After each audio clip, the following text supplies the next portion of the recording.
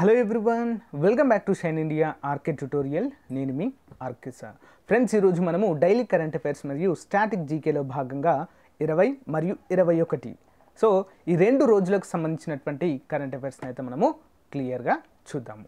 ఓకేనా చాలా చాలా ఇంపార్టెంట్ ఫ్రెండ్స్ సో ఈ మధ్య జరుగుతున్నటువంటి గ్రామ వార్డు సచివాలయ ఎగ్జామ్స్లో కూడా చాలా బాగా ఈ యొక్క క్వశ్చన్స్ అయితే రావడం అయితే జరిగింది. ముఖ్యంగా స్టాటిక్ జీకే నుంచి సో మన channel uniqueness static GK so అందులో నుంచి కూడా చాలా వరకు అయితే క్వశ్చన్స్ అయితే అడగడం జరిగింది ఫ్రెండ్స్ సో ప్రతి ఒక్కరు కూడా ఫాలో అవ్వండి. ఎవరైతే సో లాంగ్ టర్మ్లో ప్రిపేర్ అవుతున్నారో ముఖ్యంగా పోటీ పరీక్షలకు కానిస్టేబుల్ కావచ్చు ఎస్ఐ కావచ్చు ఆర్ఆర్బీ కావచ్చు అన్ని పోటీ పరీక్షలకు సో రెగ్యులర్గా ఫాలో అవ్వండి ఫ్రెండ్స్ మంచి రిజల్ట్ అనేది మీకు కనిపిస్తుంది. ఓకేనా కరెంట్ అఫైర్సే కాకుండా మనము స్టాటిక్ జీకే పైన కూడా సో క్లాస్ అయితే చెప్పడం జరుగుతుంది. ఓకే? లేచకుండా వివరాలకు వెళ్ళిపోదాం. Question number one. అంతర్జాతీయ శాంతి దినోత్సవం ప్రపంచవ్యాప్తంగా ఏ రోజున నిర్వహిస్తారు? అంతర్జాతీయ శాంతి దినోత్సవం. సో సరైన సమాధానం ఆప్షన్ బి సెప్టెంబర్ ఇరవై ఒకటవ తారీఖున. వివరాలు చూద్దాం. అంతర్జాతీయ శాంతి దినోత్సవం ప్రతి సంవత్సరం కూడా సెప్టెంబర్ ఇరవై ఒకటిన ప్రపంచవ్యాప్తంగా పాటిస్తారు.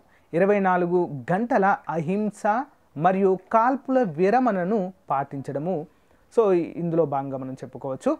సో దీని ద్వారా శాంతి ఆదర్శాలను బలోపేతం చేయడానికి యుఎన్ అంటే యునైటెడ్ నేషన్స్ జనరల్ అసెంబ్లీ దీన్ని తీర్మానించినట్లుగా మనకైతే తెలుస్తుంది.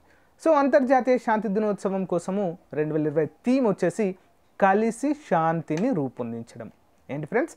కలిసి శాంతిని రూపొందించడం అనేటువంటి ట్యాగ్ లైన్తో దీన్నైతే అయితే ఏర్పాటు చేయడం జరిగింది. నెక్స్ట్ చూద్దాం. కేంద్ర ప్రభుత్వము దేశవ్యాప్తంగా పోషకాహార లోపాన్ని నియంత్రించడానికి కేంద్ర మహిళ శిశు సంక్షేమ శాఖ ఏ శాఖతో అవగాహన ఒప్పందము కుదుర్చుకుంది. దేశంలో ఉన్నటువంటి సో పిల్లలకు కావచ్చు పెద్దవారికి కావచ్చు పోషకాహార లోపాన్ని సో తగ్గించడానికి మరి ఏ మంత్రిత్వ శాఖతో కేంద్ర మహిళా శిశు సంక్షేమ శాఖ అవగాహన ఒప్పందం అంటే ఎంఓయు కుదుర్చుకుంది? ఆన్సర్ ఆప్షన్ ఏ ఆయుష్ మంత్రిత్వ శాఖతో. వివరాలు చూద్దాం. పోషణ్ అభియాన్లో భాగంగా పోషకాహార లోపాన్ని నియంత్రించడానికి ఆయుష్ మంత్రిత్వ శాఖ మరియు మహిళా మరియు శిశు అభివృద్ధి మంత్రిత్వ శాఖల మధ్య ఒక అవగాహన ఒప్పందం అయితే కుదిరింది. సో దేశంలో పోషకాహార లోపాన్ని నియంత్రించడానికి పరీక్షించిన మరియు శాస్త్రీయంగా ఓకేనా? శాస్త్రీయంగా నిరూపితమైనటువంటి ఆయుష్ ఆధారిత పరిష్కార మార్గాలను పాటించడానికి ఎంఓయు మెమరాండమ్ ఆఫ్ అండర్స్టాండింగ్ అయితే కుదుర్చుకోవడము ఇక్కడ మనము చూడవచ్చు. చాలా ఇంపార్టెంట్ క్వశ్చన్. నెక్స్ట్ వన్ ప్రముఖ అంతర్జాతీయ రేటింగ్ దిగ్గజం ఫిచ్. సొల్యూషన్స్ భారతదేశ జీడిపి వృద్ధి రేటు ఎంత శాతంగా అంచనా వేసింది? రెండు వేల ఇరవై ఇరవై ఒకటవ ఆర్థిక సంవత్సరానికి. సో సరైన సమాధానం చూసినట్లయితే ఆప్షన్ డి ఎనిమిది పాయింట్ ఆరు శాతంగా సో అంచనా వేయడం జరిగింది. ఎనిమిది పాయింట్ ఆరు శాతం. వివరాలు చూద్దాం. ఫిట్ సొల్యూషన్స్ భారత ఆర్థిక వృద్ధిని దాని అంచనాలను సవరించింది. సో మరియు ఇప్పుడు రెండు వేల ఇరవై ఇరవై ఒకటి ఫినాన్షియల్ ఇయర్లో భారత జీడిపి వృద్ధి రేటు ఎనిమిది పాయింట్ ఆరు శాతంగా కుదించగలదని అంచనా వేయడం అయితే జరిగింది. సో అంతకుముందు ఇది మైనస్ నాలుగు పాయింట్ ఐదు శాతంగా అంచనా వేయడం అయితే జరిగింది. లాక్డౌన్ పీరియడ్లో కూడా మనకైతే ఈ యొక్క అంచనాలను అయితే రివీల్ చేయడం జరిగింది. అప్పుడు మైనస్లో ఉండేది. ఇప్పుడు దాన్ని ప్లస్లోకి తీసుకెళ్ళడం జరిగింది. అంతేకాకుండా మరి రెండు వేల ఇరవై ఒకటి మరియు ఇరవై రెండు ఆర్థిక సంవత్సరాలలో మనకు ఐదు శాత ఐదు శాతము ఆర్థిక వృద్ధిని సాధించే విధంగా ఇది మనకు అంచనాలను అయితే ఇచ్చినట్లుగా మనైతే క్లియర్ అయితే తెలుస్తుంది. నెక్స్ట్ ఉంచుదాం దేశం మొట్టమొదటి కోవిడ్ నైన్టీన్ పరీక్ష అయినటువంటి C R I SPR CRI SPR విధానానికి drug controller general of India ఆమోద ముద్ర వేసింది. అయితే దీనిని మరి రూపొందించిన వారు ఎవరు? ఏ సంస్థ దీన్ని రూపొందించింది? సో దీని ప్రమాణాలను పరీక్షించి కేంద్ర డ్రగ్ విధానానికి drug control general of India ఆమోద ముద్ర కూడా వేయడం జరిగింది. సో మరి దీన్ని ఎవరు రూపొందించారని చూసినట్లయితే option C Tata group. Okay? వివరాలు చూద్దాం. కోవిడ్ నైన్టీన్ కోసం భారతదేశం యొక్క మొట్టమొదటి C R I S P R పరీక్షను టాటా గ్రూప్ ప్రారంభించింది. సో దీన్ని సిఎస్ఐఆర్ ఐజీ ఐబి ఫెలూడా అంటారు దీన్ని. ఓకేనా? So council of scientific and industrial research మరియు institute of genomics and integrative biology దీన్ని అభివృద్ధి చేసినట్లుగా తెలుస్తుంది. సో ఈ పరీక్షకు drug control general of India నుండి వాణిజ్య రోల్ అవుట్ కోసము రెగ్యులేటరీ ఆమోదాలు కూడా మనకు లభించాయి. ఓకేనా? అంటే వాణిజ్యపరమైన అంటే సో బయట మార్కెట్లో కూడా రిలీజ్ చేసుకోవడానికైతే ఆమోదముద్ర వేయడము జరిగింది. నెక్స్ట్ వన్ చూద్దాం. అంతర్జాతీయ అల్జిమార్స్ దినోత్సవము సెప్టెంబర్ ఇరవై ఒకటిన ప్రపంచవ్యాప్తంగా నిర్వహిస్తారు. అయితే ఇది దేనికి సంబంధించినటువంటి వ్యాధి? అల్జిమర్స్ అనేది. సో సరైన సమాధానము ఆన్సర్ ఆప్షన్ ఏ మెదడుకు సంబంధించింది ఓకేనా? సో జ్ఞాపక శక్తి కోల్పోవడం అనేది దీని యొక్క ప్రత్యేక లక్షణంగా చెప్పుకోవచ్చు. వివరాలు చూద్దాం. ప్రపంచ అల్జిమర్ దినోత్సవాన్ని సెప్టెంబర్ ఇరవై ఒకటిన ప్రపంచవ్యాప్తంగా పాటిస్తారు. నాడీ యొక్క పరిస్థితి అంతర్లీన కారణాలు లక్షణాలు మరియు దాని నిర్వహణ గురించి అవగాహన పెంచడానికి ఈ రోజును ప్రపంచవ్యాప్తంగా పాటించడము జరుగుతుంది.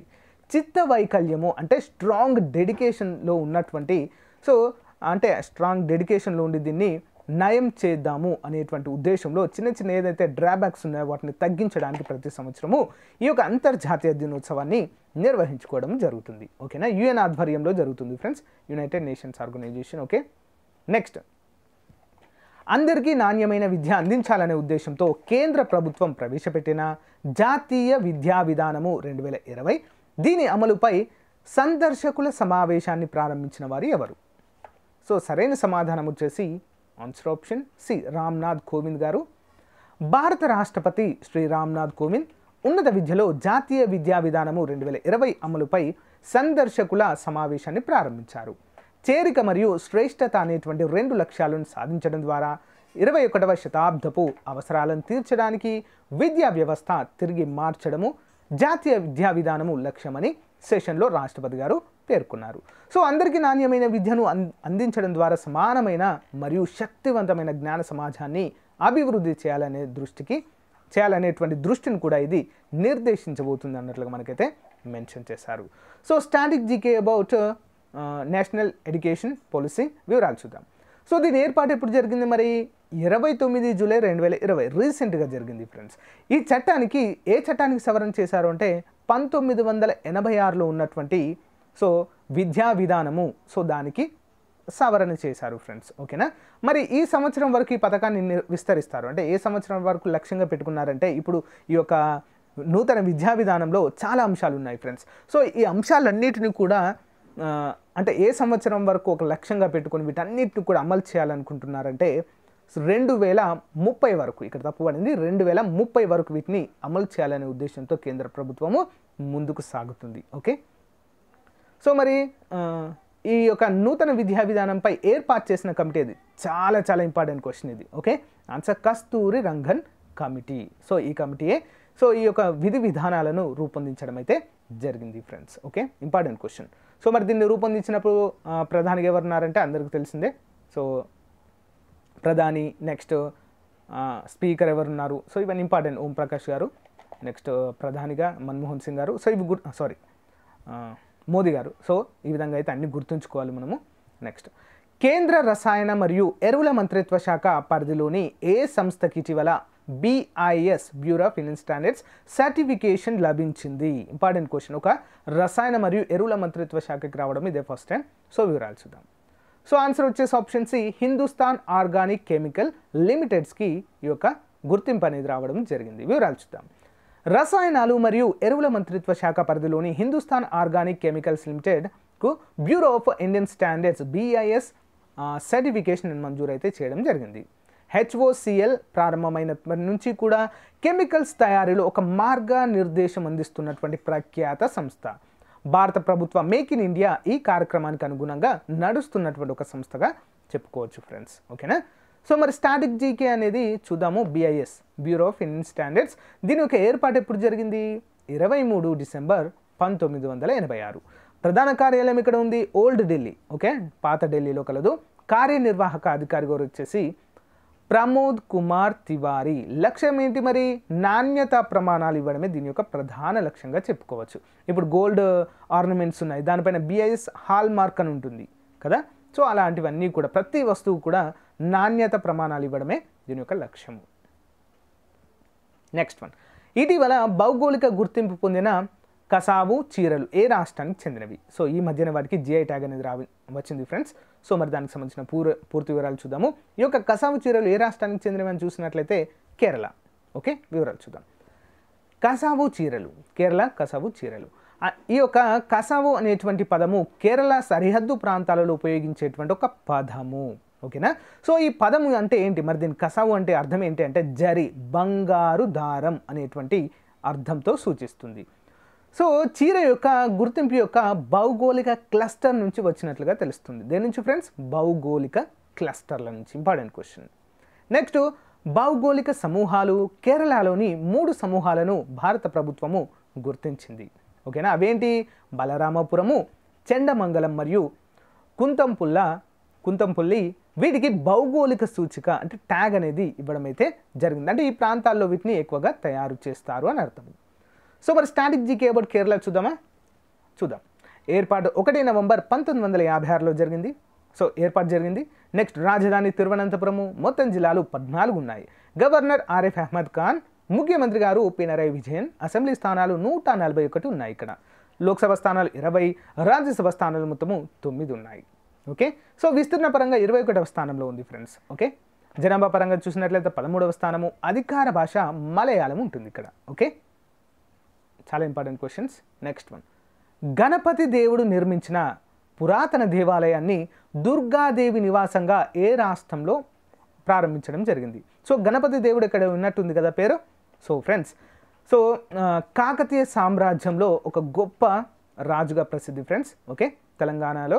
అంతేకాకుండా ఉమ్మడి ఆంధ్రప్రదేశ్ సారీ రెండు ప్రాంతాలు ఆంధ్ర ప్రాంతము తెలంగాణ ప్రాంతాలను పాలించినటువంటి కాకతీయులలో చాలా గొప్ప రాజుగా ప్రసిద్ధి. సో మరి యొక్క ఈ పురాతన దేవాలయము ఏ రాష్ట్రంలో బయలుపడింది? తెలంగాణలోన? ఆంధ్రప్రదేశ్లోన? కన్ఫ్యూజ్ కావద్దు ఇక్కడ. సో వెంటనే తెలంగాణ అని పెట్టేస్తారు చాలామంది ఒకవేళ ఎగ్జామ్లు వస్తే. కానీ ఆన్సర్ వచ్చేసి ఆప్షన్ బి ఆంధ్రప్రదేశ్లో ఇది బయలుపడడం అయితే జరిగింది. వివరాలు చూద్దాం.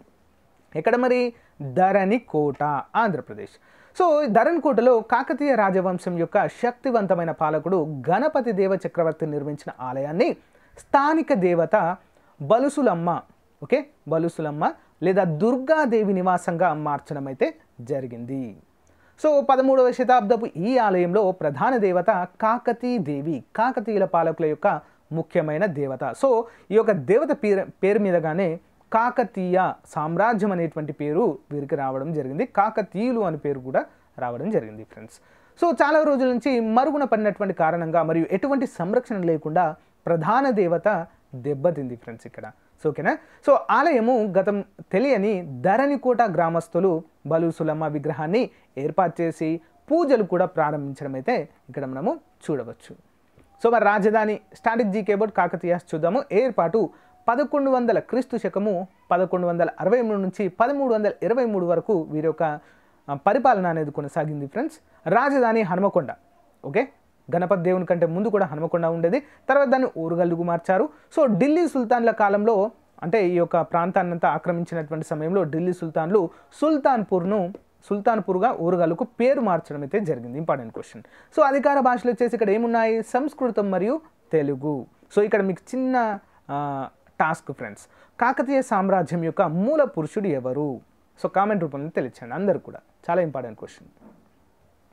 సో మరి వీరు అవలంబించినటువంటి మతం ఏంటి అంటే ముందుగా హిందూ మతమే ఉండేది ఫ్రెండ్స్ ఓకే శైవులు ఓకే శైవ మతాన్ని ఎక్కువగా ఆరాధించినటువంటి వారు. సో శైవం కూడా హిందూయిజంలో ఒక పార్టే కాబట్టి హిందూయిజం.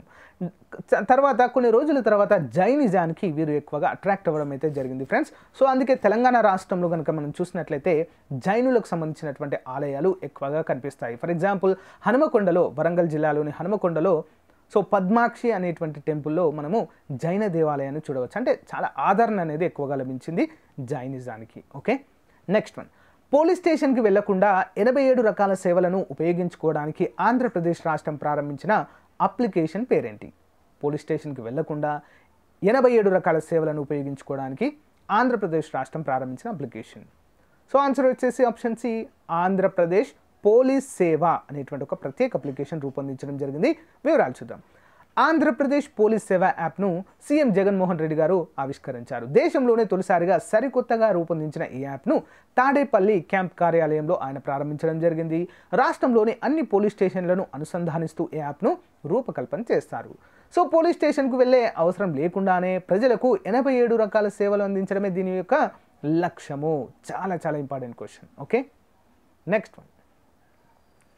దేశ చరిత్రలో తొలిసారిగా రాజ్యసభలో సభ్యత్వం పొందిన మాజీ ప్రధాని ఎవరు? సో ఫ్రెండ్స్ ఇప్పటివరకు ఇలాంటి సంఘటన దేశ చరిత్రలోనే జరగలేదు. అంటే ఒక ప్రధానమంత్రిగా పనిచేసి ఓకే ప్రధానమంత్రిగా పనిచేసి అంటే మాజీ.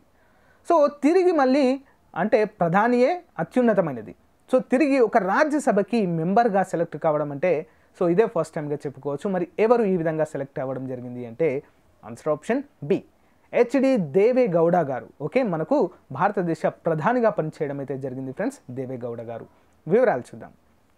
భారత మాజీ ప్రధాని హెచ్డి దేవే గౌడ కర్ణాటక నుంచి రాజ్యసభ సభ్యునిగా ప్రమాణ స్వీకారం చేయడం జరిగింది.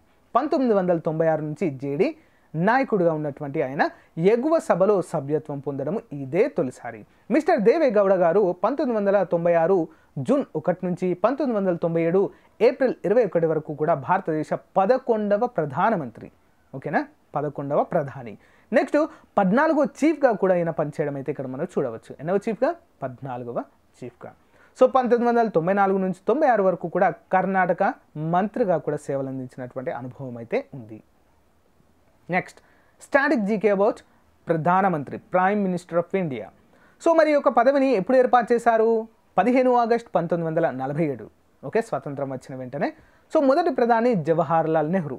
అంతేకాకుండా భారతదేశానికి మొట్టమొదటిసారిగా సార్వత్రిక ఎన్నికలు ఎప్పుడు జరిగాయంటే పంతొమ్మిది వందల యాభై రెండు అధికారికంగా. సో ఈ యొక్క ఓటింగ్ అనేది జరిగి అప్పుడు కూడా సర్దార్ వల్లభాయ్ పటేల్ గారే ప్రధానిగా ఎన్నిక కావడం జరిగింది. సో ప్రస్తుత ప్రధాని నరేంద్ర మోదీ గారు. ఓకేనా నెక్స్ట్ సారీ ఒకటి మర్చిపోయాను ఇక్కడ. మొట్టమొదటి ఉప ప్రధానిగా ఎవరు పనిచేశారంటే సర్దార్ వల్లభాయ్ పటేల్. చాలాసార్లు ఎగ్జామ్లో అడిగినటువంటి బిట్ ఇది. గుర్తుంచుకోవాలి. Next one a promised land పేరుతో ఏడు వందల అరవై ఎనిమిది పేజీల పుస్తకాన్ని రచించిన మాజీ అమెరికా అధ్యక్షుడు ఎవరు? ఏ ప్రామిస్డ్ ల్యాండ్ పేరుతో. సో ఎన్ని ఎన్ని పుస్త సారీ ఎన్ని ఉన్నాయి ఫ్రెండ్స్ ఇక్కడ పేజీలు అంటే ఏడు వందల అరవై ఎనిమిది పేజీలు. సో ఎవరు దీన్ని రచించారంటే బరాక్ ఒబామా. అమెరికా యొక్క మొట్టమొదటి నల్ల జాతి ప్రెసిడెంట్గా చెప్పుకోవచ్చు.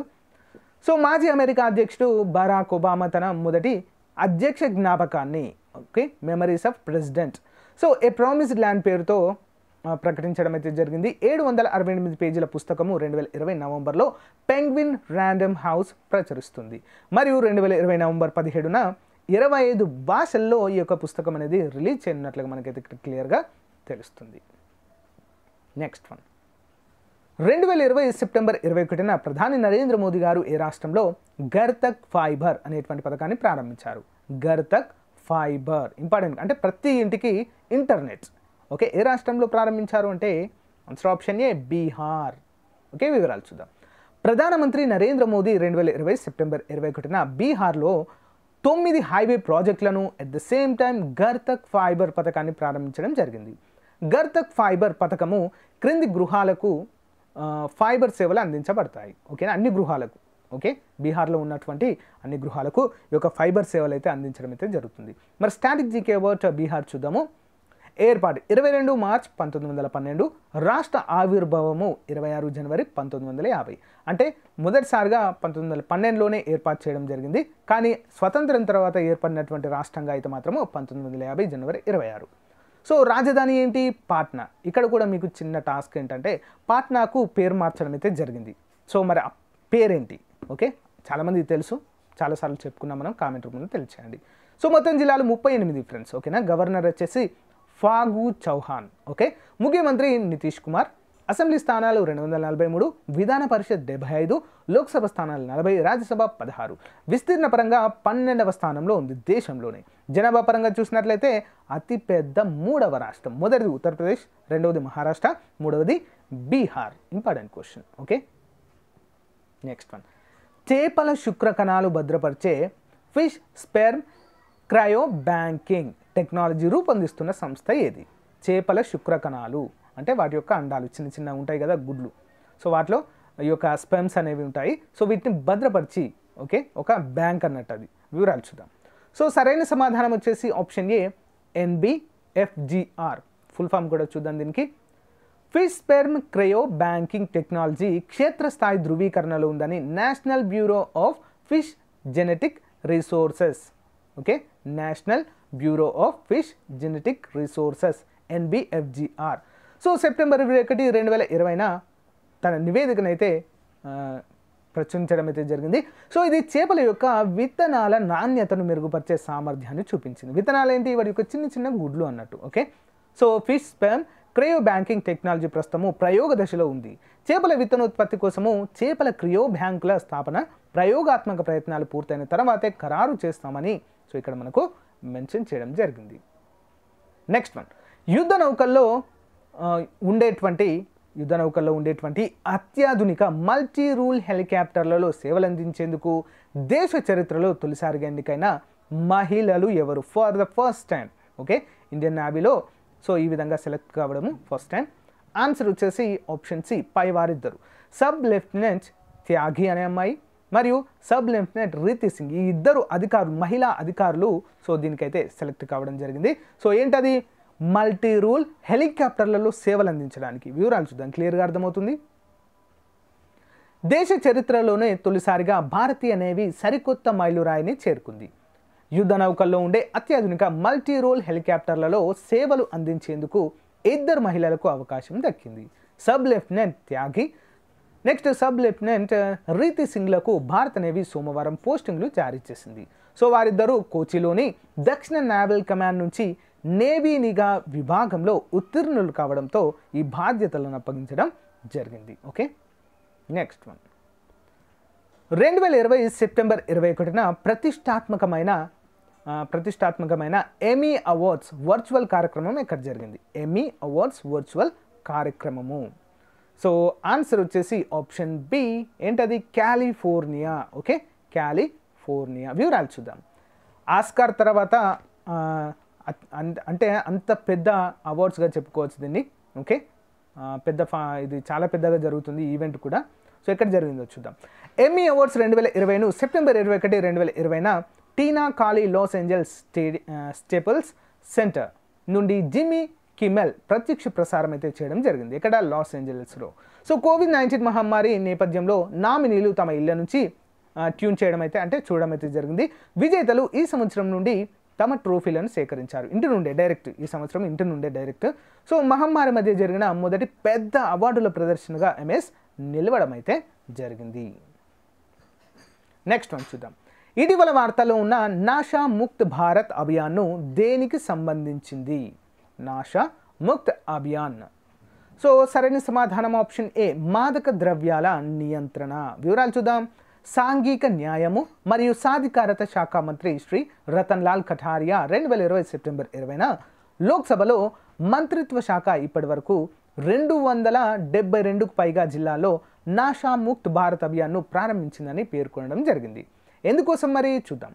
మాదక ద్రవ్యాల డిమాండ్ తగ్గింపు అంటే సో వాటి వాడకాన్ని తగ్గించడము ఓకేనా? నెక్స్ట్ సామాజిక న్యాయము మరియు సాధికారత మంత్రిత్వ శాఖ దీన్ని అమలు చేస్తుంది అని ఆయన పేర్కొన్నారు.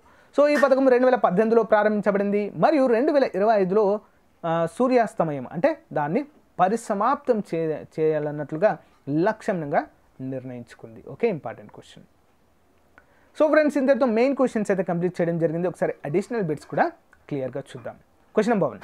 All India radio ఏ భాషలో తొలి న్యూస్ మ్యాగజైన్ కార్యక్రమాన్ని ప్రసారం చేయాలని ప్రణాళిక వేసింది అంటే ఆన్సర్ ఆప్షన్ ఫోర్ సాంస్క్రిట్ లేదా సంస్కృతము. నెక్స్ట్ అంతర్జాతీయ eco label blue frog certification కోసం భారతదేశంలోని ఎన్ని బీచ్లు ఎంపికయ్యాయి? ఆల్రెడీ మనం చెప్పుకున్నాం కదా? ఆన్సర్ ఆప్షన్ సి ఎనిమిది మొత్తం. నెక్స్ట్ వన్ ఇటీవల వార్తల్లో ఉన్న నారాయణపూర్ ఆనకట్ట ఏ నదిపై నిర్మించారు? నారాయణపూర్ ఆనకట్ట. ఆన్సర్ ఆప్షన్ వన్ కృష్ణా నది పైన నిర్మించడం అయితే జరిగింది. ఓకే కృష్ణ. నెక్స్ట్ వన్ అంతరిక్షంలో ప్రైవేట్ ఆటగాళ్ళను లేదా ఈ యొక్క ఆటగాళ్ళను నియంత్రించడానికి ఇస్రో ఏర్పాటు చేసిన సింగిల్ విండో నోడల్ ఏజెన్సీ పేరేంటి? సో ప్రైవేట్ వ్యక్తులను సింపుల్గా చెప్పాలంటే ఓకే? ఆన్సర్ వచ్చేసి option two in space okay? In space. Next one చూద్దాం. I lead two point zero okay? I lead two point జీరోను A bank ప్రారంభించింది? ఆన్సర్ వచ్చేసి option B Canara bank. Next one చూద్దాం. ముఖ్యమంత్రి మహిళా ఉత్కర్ష్ యోజనను ఏ రాష్ట్రం ప్రారంభించింది ఇటీవల? ముఖ్యమంత్రి మహిళా Utkarsh Yojana. Answer option C Gujarat next one ఇటీవల మరణించిన డాక్టర్ కపిల వాచాయన్ వృత్తి ఏమిటి? సో వారు ఏం పనిచేసేవారు సో కపిల వాత్సాయన్ గారు answer option Indian classical dance scholar ఒక మహిళ. ఓకే నెక్స్ట్ వన్ చూద్దాం. అటవీ వాసులకు మద్దతుగా ఇందిరా వన్ మిథాన్ యోజన ప్రారంభించినటువంటి రాష్ట్ర ప్రభుత్వం ఏది? Answer option four Chhattisgarh next one చూద్దాం. భారతదేశం వెలుపల ప్రపంచంలోనే మొట్టమొదటి యోగా విశ్వవిద్యాలయము వివేకానంద యోగా విశ్వవిద్యాలయం పేరుతో ఏ నగరంలో దీన్ని ప్రారంభించడం జరిగింది? సో భారతదేశంలో ఉన్నాయి ఫ్రెండ్స్ కానీ భారతదేశం వెలుపల అంటే వేరే దేశంలో సింపుల్గా చెప్పాలంటే. సో ఇక్కడ మరి అంటే ఆన్సర్ ఆప్షన్ వన్ లాస్ ఏంజలస్లో అమెరికాలో ఓకే నెక్స్ట్ వన్ ఇటీవల జరిగిన జాతీయ భద్రతపై బ్రిక్స్ ఉన్నత ప్రతినిధుల పదవ సమావేశంలో భారతదేశానికి ఎవరు ప్రాతినిధ్యం వహించడం జరిగింది? ఎవరు? Indian James Bond. Ajit Doval గారు. ఓకే చాలా ఇంపార్టెంట్ పర్సన్. సో ఫ్రెండ్స్ ఇది ఈ రోజుకు సంబంధించినటువంటి చాలా చాలా ముఖ్యమైనటువంటి కరెంట్ అఫైర్స్ సో ఒకసారి క్విక్ రివ్యూ కూడా చూద్దాం. అంతకంటే ముందుగా చిన్న రిక్వెస్ట్ ఫ్రెండ్స్ ఎవరైతే ఫస్ట్ టైంగా మన ఛానల్ చూస్తున్నారో తప్పకుండా సబ్స్క్రైబ్ చేయండి ఫ్రెండ్స్ మన ఛానల్కి సపోర్ట్ చేయండి. సో చాలామంది అడుగు డౌట్ ఏంటంటే సార్ ఎగ్జామ్స్ అయిపోబోతున్నాయి కదా సో మేము చూడవచ్చా? అంటే సో ఫ్రెండ్స్ మనము నాలెడ్జ్ పెంచుకుంటే తప్పేం లేదు. ఓకేనా? అది ఎప్పటికైనా యూజ్ అవుతుంది. అసలు దానివల్ల నష్టమే లేదు. ఓకేనా? డైలీ ఒక ట్వంటీ టు థర్టీ మినిట్స్ అయితే కేటాయించండి ఫ్రెండ్స్. మంచి నాలెడ్జ్ అయితే మనము గెయిన్ చేయవచ్చు. రానున్నటువంటి ఎగ్జామ్స్కి చాలా బాగా యూస్ఫుల్గా ఉంటుంది. ఎస్ఐ కావచ్చు కానిస్టేబుల్ కావచ్చు ఆర్ఆర్బీ కావచ్చు టీఎస్ఎస్పి టీఎస్పిఎస్సిలో ఇంకా రానున్నాయి ఫ్రెండ్స్ మనకు. వార్డు సెక్రటేరియట్ సంబంధించినవి ఓకే? అవి వాటికి టీఎస్పీ ఏపీఎస్సికి కూడా చాలా జాబ్స్ అయితే మనకు పడే అవకాశం ఉంది కాబట్టి అన్నిటికీ ప్రిపేర్ అవ్వడానికి సో స్ట్రాటజీకి పరంగా కరెంట్ అఫైర్స్ పరంగా కూడా బెస్ట్గా యూజ్ అవుతాయి మీకు ఓకేనా? ప్రతిరోజు ఆన్లైన్ ఎగ్జామ్ కూడా రాయడానికి వీలైతే కల్పించడం జరుగుతుంది ఉచితంగా ఓకేనా ఫ్రెండ్స్? సో చాలామంది అయితే అంటే రీసెంట్గా జరుగుతున్నటువంటి సచివాలయ ఎగ్జామ్స్లో సార్ చాలా బాగా యూజ్ అవుతుంది సార్ కరెంట్ అఫైర్స్ కంటిన్యూ చేయండి అని చెప్పేసి అడగడం జరుగుతుంది. సో కంటిన్యూ చేద్దాం ఫ్రెండ్స్ నో ప్రాబ్లం దానికి okay? Question number one quick review. అంతర్జాతీయ శాంతి దినోత్సవం ప్రపంచవ్యాప్తంగా ఏ రోజున నిర్వహిస్తారు? ఆన్సర్ ఆప్షన్ బి సెప్టెంబర్ ఇరవై ఒకటి ఈ రోజునే. నెక్స్ట్ వన్ కేంద్ర ప్రభుత్వం దేశవ్యాప్తంగా పోషకాహార లోపాన్ని నియంత్రించడానికి కేంద్ర మహిళా శిశు సంక్షేమ మంత్రిత్వ శాఖ ఏ శాఖతో అవగాహన ఒప్పందం కుదుర్చుకుంది? ఆన్సర్ ఆప్షన్ ఏ ఆయుష్ మంత్రిత్వ శాఖ. నెక్స్ట్ వన్ చూద్దాం. ప్రముఖ అంతర్జాతీయ రేటింగ్ దిగ్గజం ఫిన్ సొల్యూషన్స్ భారతదేశ జీడిపి వృద్ధి రేటు ఎంతగా అంచనా వేయడం జరిగింది? ఆన్సర్ వచ్చేసి ఆప్షన్ డి ఎనిమిది పాయింట్ ఆరు శాతము. నెక్స్ట్ వన్ దేశం మొట్టమొదటి కోవిడ్ నైన్టీన్ పరీక్ష క్రిస్పర్ అన్నట్టు అంటారు దీన్ని. C R I S P R విధానానికి drug control general of India ఆమోదముద్ర వేసింది. అయితే దీన్ని రూపొందించిన వారు ఎవరు మరి? ఆన్సర్ వచ్చేసి ఆప్షన్ సి టాటా గ్రూప్. ఎవరు friends? Tata group. Next one చూద్దాం. ఇండి సారీ. అంతర్జాతీయ అల్జిమర్ దినోత్సవము సెప్టెంబర్ ఇరవై ఒకటిన ప్రపంచవ్యాప్తంగా నిర్వహిస్తారు. అయితే ఇది దేనికి సంబంధించినది? ఈ వ్యాధి. ఆన్సర్ ఆప్షన్ ఏ మెదడు. ఓకే? మెదడుకు సంబంధించింది. సో మతిమరుపు అంటాం కదా ఫ్రెండ్స్. సో అది పీక్స్ వెళ్ళిపోతే అల్జిమర్స్ అంటారు. Next one. అందరికీ నాణ్యమైన విద్య అందించాలనే ఉద్దేశంతో కేంద్ర ప్రభుత్వం ప్రవేశపెట్టిన జాతీయ విద్యా విధానము రెండు వేల ఇరవై. దీనిపై సందర్శకుల సమావేశాన్ని ప్రారంభించిన వారు ఎవరు అంటే సో భారత ప్రథమ పౌరుడు రామ్నాథ్ కోవింద్ గారు. ఓకే? త్రివిధ దళాధిపతి అని కూడా పిలుస్తాం కదా మనము. నెక్స్ట్ వన్ చూద్దాం. కేంద్ర రసాయన ఎరువుల మరియు ఎరువుల మంత్రిత్వ శాఖ పరిధిలోనికి పరిధిలోని ఏ సంస్థకి ఇటీవల BIS okay bureau of Indian standard certification లభించింది? Answer option C Hindustan organic chemicals లిమిటెడ్స్కి okay? Next one ఇటీవల భౌగోళిక గుర్తింపు పొందిన కసావు చీరలు ఏ రాష్ట్రానికి చెందినవంటే కేరళ. ఏంటి friends Kerala. God's own country అంటాం కదా మనము? కేరళ. నెక్స్ట్ వన్ గణపతి దేవుని నిర్మించిన పురాతన దేవాలయాన్ని దుర్గాదేవి నివాసంగా ఏ రాష్ట్రంలో ప్రారంభించారు అంటే ఆప్షన్ బి తెలంగాణ. ధరణికోటలో ఫ్రెండ్స్ ఓకే? సారీ తెలంగాణ కాదు Andhra Pradesh Dharanikota. Next one.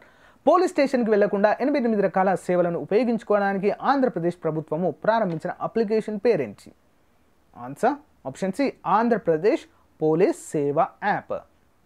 Next one చూద్దాం. దేశ చరిత్రలో తొలిసారిగా రాజ్యసభలో సభ్యత్వం పొందిన మాజీ ప్రధానమంత్రి ఎవరు?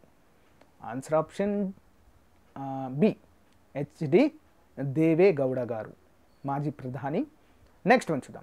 ఏ ప్రోమిసర్ ల్యాండ్ పేరుతో ఏడు వందల అరవై ఎనిమిది పేజీల పుస్తకాన్ని రచించిన మాజీ అమెరికా అధ్యక్షుడు ఎవరు?